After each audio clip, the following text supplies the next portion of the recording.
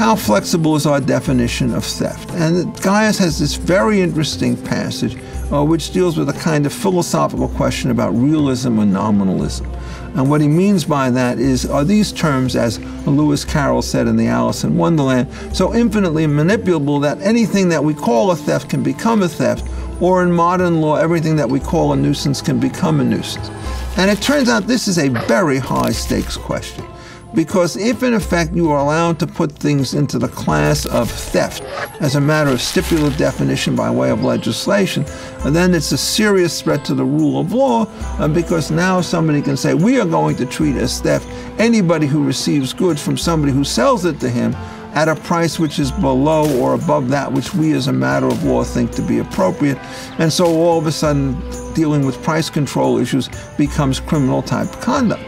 And Gaius is very resistant to this. And so what he says is it doesn't become theft because you call it such.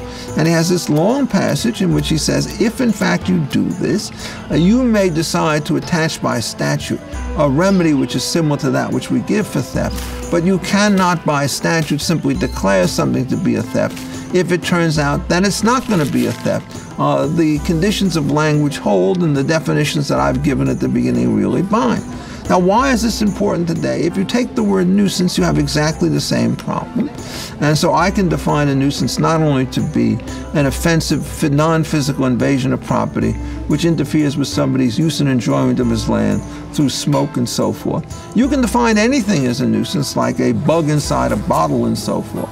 And if you can define nuisances extremely broadly, when it comes to determining the principles of state power, the basic common law intuition and constitutional institution limita- intuition was um, to the extent that you're dealing with nuisance like behaviors, they're wrongs, you could shut them down without compensation.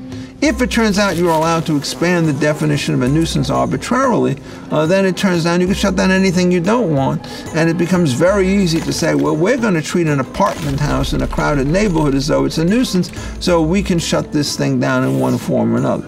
Uh, so the nominalism essentially turns out to be fatally inconsistent with the rule of law.